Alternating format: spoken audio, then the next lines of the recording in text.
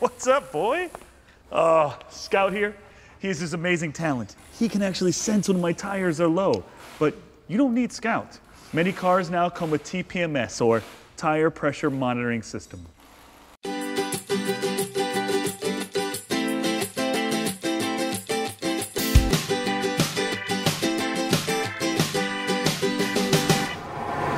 TPMS with its little symbol is a big deal.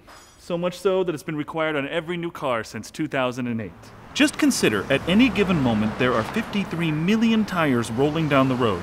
If a tiny percentage of those tires are overinflated or underinflated, there is a big potential for problems. What you need to know is what to do when this light comes on your dash. First, it's probably not an emergency. So, when it's safe, check your tire pressure. Hey, thanks, buddy. Thanks a lot. Here's how TPMS works. The most common type is this little device, a wireless, battery operated sensor located inside each tire. They usually last about 10 years. It measures your tire pressure and sends a signal to your dash to let you know when a single tire is over or underinflated by usually 25% or more.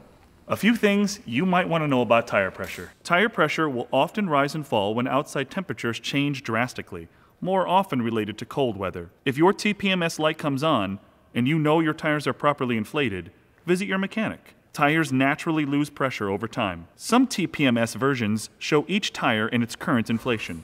It looks like the left front tire is low. Hey, thanks, buddy. Every year, 11,000 crashes are caused by problems with tires. You can't tell by looking if a tire is underinflated until it's 50% low. Wow. Waiting can be dangerous. TPMS, Tire Pressure Monitoring System. Don't panic, but don't ignore it either. TPMS can help prevent flat tires, but proper tire inflation can improve handling, gas mileage, and even extend the life of your tires. Remember, for quick tire information, check your owner's manual or the inside of the driver's door. You are your car's best safety feature. Know more, drive safer. Visit mycardoeswhat.org. Lots of great, easy to use information, so check it out. Hey! Oh, yes. Uh, besides being able to sense tire pressure, Scout has this not so extraordinary talent of being able to know exactly what is in my pocket. you are a good boy.